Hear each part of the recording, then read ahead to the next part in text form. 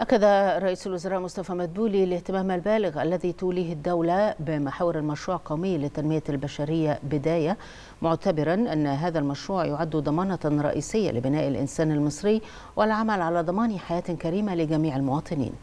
وخلال اجتماعه مع نائب رئيس مجلس الوزراء للتنمية البشرية وزير الصحة والسكان خالد عبد الغفار استمع مدبولي لشرح عن أهداف الاستراتيجية للمشروع القومي للتنمية البشرية والتي تتمثل في تعزيز جودة الحياة وتحقيق التنمية المستدامة عبر تحسين محوري التعليم والصحة وتعزيز المهارات للإعداد لسوق العمل في جميع المراحل العمرية على المستويين المحلي والعالمي. لإعداد مواطن مؤهل يمتلك مهارات تمكنه من المساهمة الفعالة في التنمية الاقتصادية والاجتماعية.